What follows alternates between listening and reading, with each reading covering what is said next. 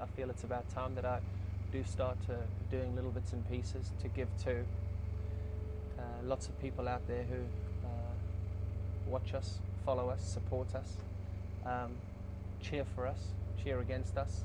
Um, so any little bits and pieces of advice is, uh, is great. I just hope that they'll learn something, um, something specific to what they want. And I mean, I go pretty in depth about how I think about the game, about some of the shots that I play, manipulations of fields, and if that can take them to a new level, they can get the confidence and self-belief to know that it's not that bad getting out and that it's just a part of the game and the next time will come around sooner rather than later, then everyone will be a winner. Well, I'll give one piece of advice. Be your own person. Never try and be someone that you're not. And make sure that you just fulfill your talent.